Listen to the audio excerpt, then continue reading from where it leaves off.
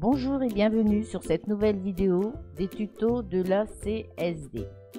Aujourd'hui, nous allons voir comment effectuer un copier-coller.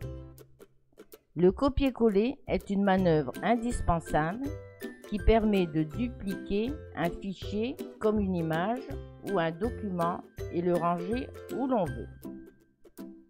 Ce que nous allons montrer aujourd'hui avec un exemple n'est qu'une façon de faire parmi beaucoup d'autres.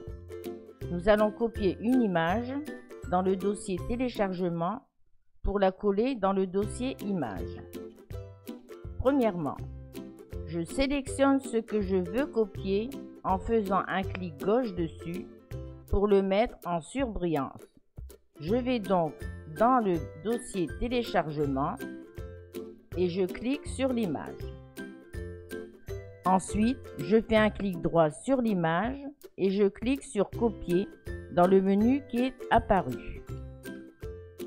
Après, je vais dans le dossier où je veux coller mon image, c'est-à-dire ici dans le dossier image.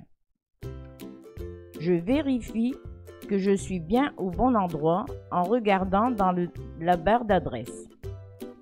Pour finir, je fais un clic droit dans le vide de la fenêtre et dans le menu, je clique sur coller.